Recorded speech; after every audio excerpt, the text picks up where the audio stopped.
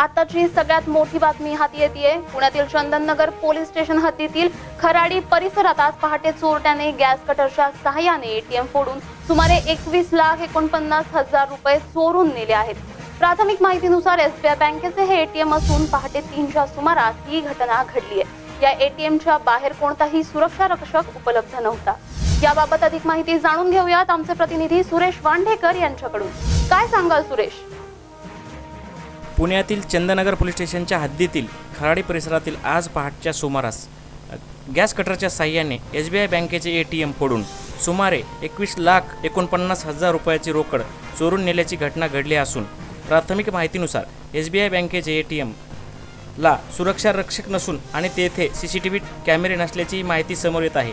या घटनेचा पुढील तपास चंदननगर पोलीस स्टेशनचे वरिष्ठ पोलीस निरीक्षक यांच्या मार्गदर्शनाखाली करत आहेत. धन्यवाद सुरेश दिलेल्या माहितीबद्दल. या प्रकरणाचा पुढील तपास चंदननगर पोलीस करत आहेत.